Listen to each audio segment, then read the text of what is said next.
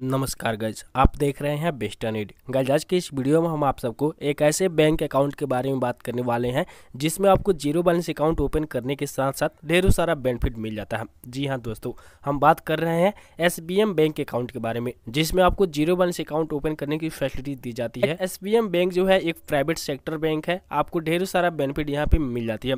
गज आज के इस वीडियो में हम आप सबको पूरे बारीकी से बताने वाले हैं कि किस प्रकार से आपको अकाउंट ओपन करना है, किस प्रकार से आप अपना debit card, chequebook, ATM card पा सकते हैं। इस वीडियो को आप बिल्कुल शुरू से लेकर अंत तक वॉच करें, क्योंकि इसमें स्टेप बाय स्टेप हम आप सबको बताए हैं। गाइज़ वीडियो को हम आगे बढ़ाने से पहले आप लोग से एक छोटी सी रिक्वेस्ट करेंगे कि अगर आप हमारे चैनल पे पहली बार आए हैं तो आप हमारे चैनल को सब्सक्राइब ज़रूर कर ले। क्योंकि गाइज़ यहाँ पे जो है आपको बैंकिंग और फाइनेंस रिलेटेड वीडियो देखने को मिल जाता है। सिंपली गाइज़ अकाउंट ओपन करने के लिए जो है आपको हमारी वीडियो के डिस्क्रिप्शन में जो लिंक दिया गया है, उस पर आपको क्लिक करना है। क्लिक करेंगे, आपके सामने जो है कुछ इस प्रकार से इंटरफेस शो होगा।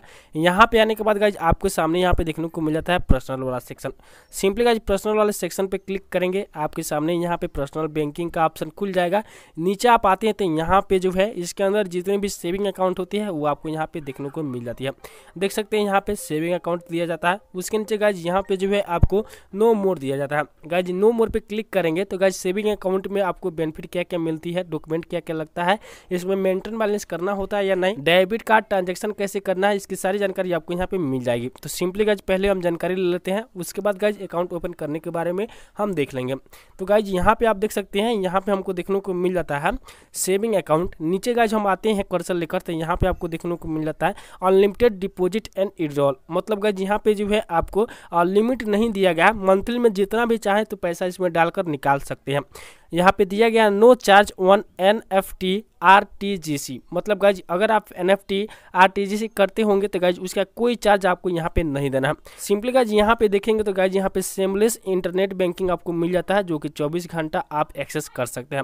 यहाँ पे चूज़ योर अकाउंट नंबर दिया गया है। मतलब गाइज़ यहाँ से जो है आप अपना अकाउंट नंबर खुद से चूज़ कर सकते हैं। नीचे आपको यहाँ पे दिया गया S B M family saving account नीचे आपको यहाँ पे कुछ बेनिफिट बताया गया है, जो कि देख सकते हैं यहाँ पे लोअर अरेंज मिनिमम बैलेंस के साथ जो है आप इसमें अपना खाता खोल सकते हैं। नीचे आप आते हैं तो यहाँ पे आपको माइनर अकाउंट भी देखने को मिल जाता है, जिसे हम चिल्ड्रन सेविंग अकाउंट कहते हैं। तो गाइज़ ये भी जो है फैसिलिटीज़ आपको यहाँ पे मिल जाती है। अगर आपका एज अठारह से ऊपर है या अठारह से नीचे है, दोनों चाहे तो आप यहाँ पे अकाउंट ओपन कर सकते हैं। नीचे जो है आपको यहाँ पे कुछ बेनिफिट दिया गया है, जो कि बताया जा रहा है कि अगर आप यहाँ पे सेविंग अकाउंट ओपन करते हैं, इसमें पैसा आप दो लाख लगते हैं तो गाइज़ यहाँ पे जो है आपको तीन परसेंट के हिसाब से इंटरेस्ट रेट मिलता रहेगा। वहीं गाइज़ यहाँ पे दो लाख से लेकर पाँच लाख के बीच में पैसा रखते हैं तो गाइज़ यहाँ पे चार परसेंट का इंटरेस्ट रेट आपको मिल जाएगा। बैलेंस एबव यहाँ पे दिया गया पाँच लाख से लेकर पाँच करोड़ तक अगर पैसा रखते हैं तो यहाँ पे फाइव परसेंट का इंटरेस्ट रेट आपको मिल जाता है, जो कि काफ़ी अच्छा यहाँ पे आप सबको बेनिफिट मिल जाता है, जो कि सेविंग अकाउंट में आपको इंटरेस्ट रेट मिल जाता है। सिंपली गाइज़ हम बात करते हैं कि अकाउंट ओपन कैसे करेंगे। गाइज़ यहाँ पे ऑनलाइन अकाउंट ओपन करने की फैसिलिटी नहीं दिया गया आपको यहाँ पे एक गेट ए कॉल बैक का ऑप्शन आएगा। सिंपली गाइज़ यहाँ पे जो है आपको अपना नाम फिलअप करना होगा।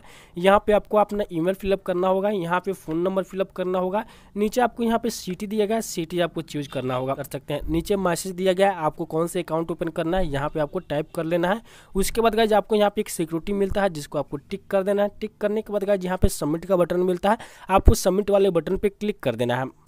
सिंपली गाइज़ सारी डिटेल्स को फिलअप करके आप सबमिट पे क्लिक करते हैं। आपके सामने जो है कुछ इस प्रकार से इंटरफेस शो होती है, जहाँ पे बोला जा रहा है thank you for sharing your details मतलब गाइज़ यहाँ पे आपको एसबीएम बैंक के पास आपका फॉर्म सबमिटेड हो गई है। अब गाइज़ यहाँ पे थोड़ी देर बाद आपके पास कॉल आएगी और गाइज़ कॉल करके कुछ जानकारी मांगा जाएगा आपके डॉक्यूमेंट से रिलेटेड तो सिंपली गाइज़ आपको अपना डॉक्यूमेंट का डिटेल्स देना है।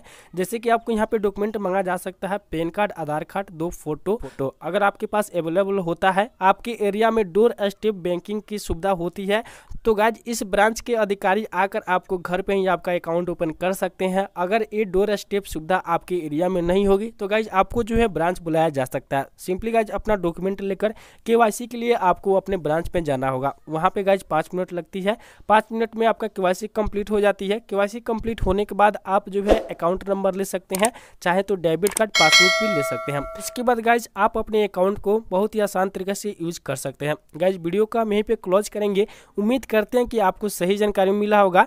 वीडियो अच्छा लगा हो तो प्लीज़ वीडियो को लाइक और चैनल को सब्सक्राइब ज़रूर कर दीजिएगा। ताकि बैंकिंग और फाइनेंस रिलेटेड आप सबको वीडियो मिलता रहे। बाय बाय टेक केयर जय हिंद, जय भारत।